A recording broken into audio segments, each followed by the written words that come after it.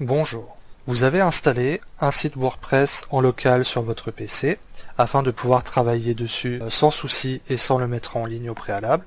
Et maintenant que vous l'avez finalisé, vous voulez euh, le migrer en ligne sur votre formule cPanel que vous avez au préalable commandé auprès de nos services.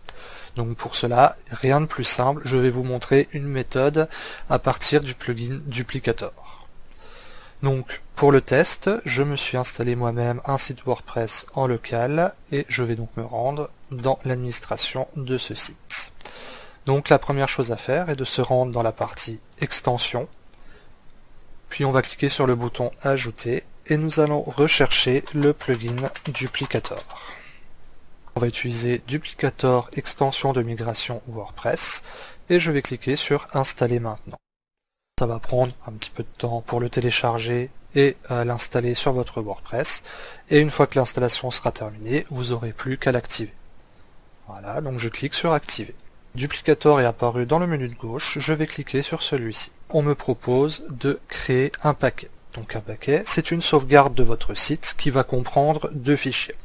Un fichier PHP installeur qui va permettre ensuite de lancer l'installation de votre site lorsque l'on le mettra en ligne et vous aurez une archive qui comprendra les fichiers de votre site et également la sauvegarde de votre base de données. Pour créer cette sauvegarde, nous allons cliquer sur Créer un paquet. Le nom de la sauvegarde va comprendre la date suivie du nom de votre site. On peut ensuite euh, faire quelques configurations dans la partie stockage, archive et installeur, mais concrètement, vous pouvez laisser la configuration par défaut et cliquer simplement sur suivant. Un scan va être fait de votre site afin de s'assurer que tout est bien en règle pour créer euh, la sauvegarde de votre site. Ici, pas de problème, tout est bon, nous allons pouvoir cliquer sur le bouton création. Donc là, selon la taille de votre site, cela peut prendre un petit peu de temps, mais c'est généralement quand même assez rapide. Une fois que la sauvegarde est terminée, il suffit de cliquer sur le bouton du moins sur le lien téléchargement en un clic. Donc là, ça va télécharger les deux fichiers, donc le fichier PHP installeur et l'archive qui contient les fichiers de votre site et la sauvegarde de la base de données. Une fois que vous avez récupéré ces deux fichiers, il n'y a plus qu'à aller sur le cPanel. Ici, première chose à faire une fois qu'on est sur le panneau de contrôle cPanel, ça va être de créer une base de données pour notre site WordPress et créer un utilisateur de cette base de données.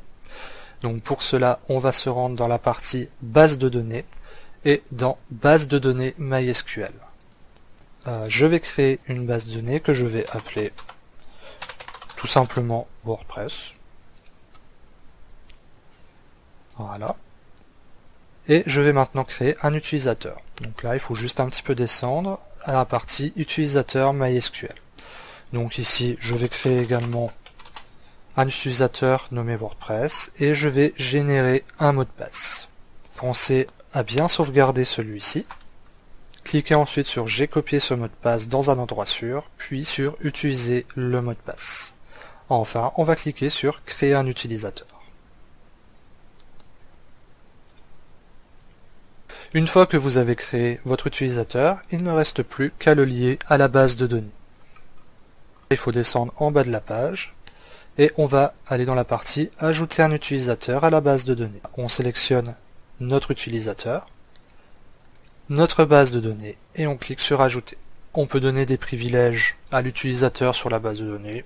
Ici, cliquez simplement sur tous les privilèges et enfin sur apporter des modifications. Voilà, donc l'utilisateur a bien été ajouté à la base de données. Nous allons maintenant mettre en place les fichiers sur le serveur. Nous allons retourner à l'accueil du panneau de contrôle, puis dans Gestionnaire de fichiers. Nous allons nous rendre dans la partie Public HTML, et c'est ici que nous allons mettre en place nos fichiers. Donc pour les besoins de la vidéo, j'ai déjà mis en place mon archive. Il ne reste plus qu'à mettre le fichier installeur. Je vais cliquer sur Charger, sélectionner un fichier, pour mettre mon archive, il suffisait simplement de double-cliquer dessus. Là, je vais simplement ajouter en plus mon fichier installeur.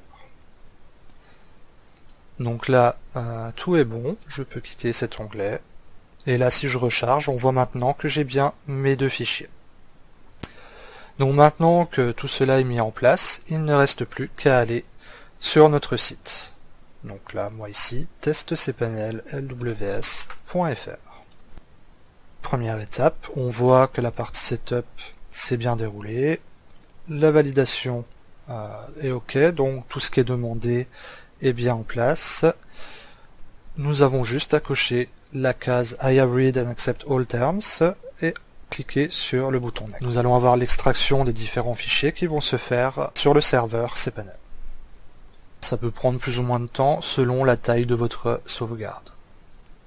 Donc, une fois que nous sommes ici, dans la partie action, on va laisser Connect and Remove All Data. Host, nous allons laisser localhost.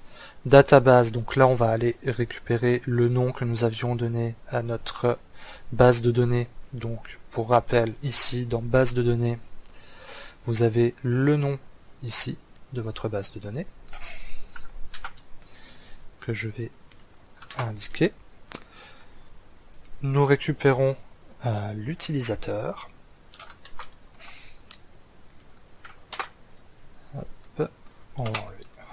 Et enfin, le mot de passe. Donc on va faire un test de connexion. Tout est OK au niveau de la validation on peut cliquer sur Next. On nous reprécise bien comment va être installée la base de données. Il suffit de cliquer sur OK. Il suffit d'attendre que la base de données soit mise en place. Donc ici, on va pouvoir modifier euh, légèrement euh, certaines configurations de notre site. Donc ici, on peut modifier le titre de notre WordPress, on peut modifier l'URL. Donc là, par exemple, je vais juste rajouter le S pour être en HTTPS. Le chemin, donc là on reste sur notre public HTML. Donc dans la partie euh, Replace et Options, donc options, on peut créer un nouveau compte admin si on le veut, ou simplement garder celui qu'on avait créé en local.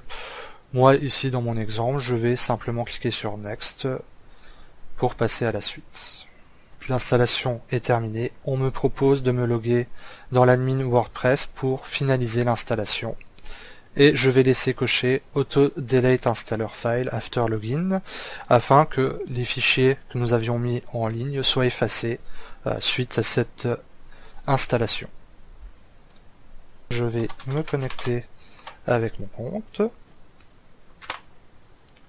Les fichiers ont bien été retirés, donc tout ce qui était lié aux fichiers de sauvegarde a été supprimé du serveur pour ne conserver que les fichiers du site. On va ensuite aller sur notre site en ligne et on peut voir que mon site est maintenant en ligne sur mon nom de domaine test-cpanel-lws.fr.